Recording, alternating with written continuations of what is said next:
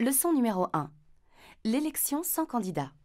Aujourd'hui, l'équipe se réunit pour désigner la personne chargée de coordonner le prochain événement d'entreprise. Il faut d'abord lister les qualités et les compétences nécessaires à cette mission. Il faut être euh, organisé.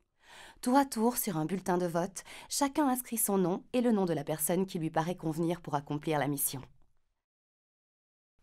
Catherine, la modératrice, dévoile les votes. Bon, maintenant, je vais demander à chacun d'argumenter son choix. J'ai choisi Laura parce qu'elle est très organisée.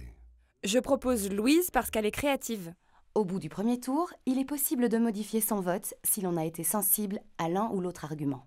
Est-ce que quelqu'un a changé d'avis? Moi, non. Moi non plus. Non, Non. non. Moi, oui. Didier, tu veux modifier ton choix? Oui, je voudrais voter pour Laura. Maintenant que tout le monde s'est exprimé, est-ce que quelqu'un pourrait proposer le candidat qui lui semble le meilleur choix pour le collectif? Je propose Laura. Est-ce que quelqu'un a une objection? Non, pas d'objection. Objection. Pas d'objection. Pas d'objection. Pas d'objection. Pas d'objection. Je vais avoir besoin de l'aide de Laura sur le projet de formation du personnel et j'ai peur qu'elle ne soit pas suffisamment disponible pour me soutenir si elle s'occupe de la fête d'été. Océane, pourrais-tu bonifier la proposition pour lever ton objection? Peut-être que Simon pourrait coordonner la fête avec Laura pour qu'elle garde du temps pour ses autres tâches.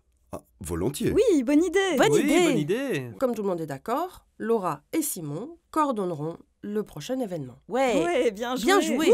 Ouais, bien joué. L'équipe célèbre cette décision et prend un moment pour débriefer. Ça m'a beaucoup aidé que Catherine nous rappelle de rester au service du collectif. Je pense que la prochaine fois, on pourrait éviter de répéter les arguments qui ont déjà été exprimés. Oui, favorisons la concision des interventions. Donc, pour une élection sans candidat, il faut qu'il n'y ait bien entendu pas de candidat déclaré au départ. 1. Lister les qualités et les compétences nécessaires à la mission. 2. Voter et argumenter son choix. 3. Éventuellement modifier son vote. 4. Faire une proposition. 5. Exprimer une éventuelle objection. 6. Bonifier la proposition si objection. 7. Valider la décision, célébrer et débriefer.